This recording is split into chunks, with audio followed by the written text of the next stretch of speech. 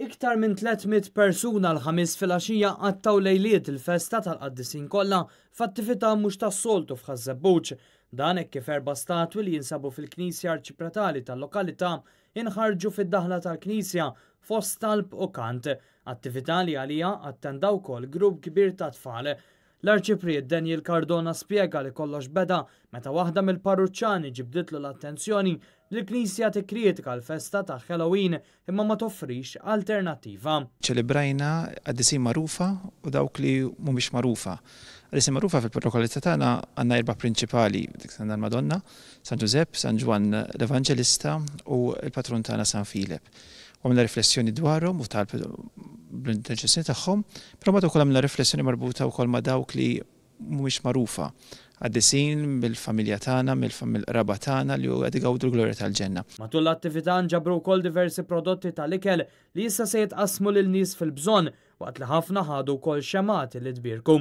Huma kienu mħeġġa biex issa dawn ix-xemgħat jitpoġġew fuq l-oqbra tal-għeżież tagħhom, bl-Arċipriet li ddeskriva lil dawk li ħallewna bħala qaddisin mhux magħrufa. Min-naħa l-oħra f'Bormla, Mirea, Sirea, Naomi u Destiny, appoġġjati mill-ġenituri tagħhom u bil-permess tal-kappillan, daru t-toroq ta' Bormla u ġabru l-ikel u prodotti oħra li issa se jitqassmu lill-familji fil-bżonn.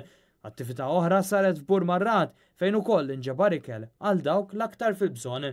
Il-jum tal-31 t'Ottubru kull sena qed jikber ukoll fil-popolarità fejn jidħlu ċ-ċelebrazzjonijiet ta' Halloween Fis-Swieqi bħal kull sena reġgħet saret waħda mill-akbar attivitajiet tax-xorta marbuta ma' Halloween. Dan hekk kif għexieren ta' tfal akkumpanjati mill-ġenituri tagħhom dawru t-toroq tal-lokalità jiġbru l-ħelu b'diversi djar li kienu mżejna apposta. Ġiet organizzata wkoll dik li kienet deskritta bħala l-Lukanda tal-Waħx b'diversi attivitajiet u t-tfal libsin il-kostumi, dan kollu bl-iskop li jinġabru donazzjonijiet li jassistu lill-Fondazzjoni li tgħin lill-persuni li jbatu mis-cystic fibrosis.